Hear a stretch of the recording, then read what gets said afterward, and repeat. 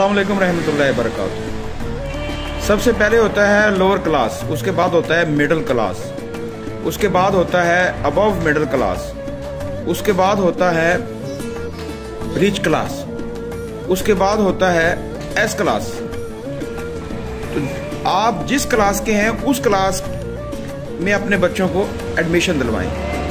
अगर आप middle class हैं और आप एस क्लास में एडमिशन दिलवा देते हैं तो आपके लिए प्रॉब्लम हो जाएगी। बच्चों की फ़ीस जो है वो टाइम पे अदा नहीं होगी। बच्चे भी परेशान होंगे, आप भी परेशान होंगे। और ये जो जितने भी बिज़नेस इंस्टीट्यूट है ना, ये सब बिज़नेस इंस्टीट्यूट है, ये एजुकेशन इंस्टीट्यूट नहीं है। सब लोग बिज़नेस कर रहे हैं, कम तनख्वाह पे टीचर रखते हैं और ज़्यादा फ़ीस की मद में ज़्यादा पैसे इकट्ठे करते हैं, उनको कुछ सेविंग हो जाती है। तो देखते रहें हमारा चैनल सब्सक्राइब करें, वरना मिलते हैं तुक्के से स्क्रॉल करते हुए। अल्लाह हाफिज़।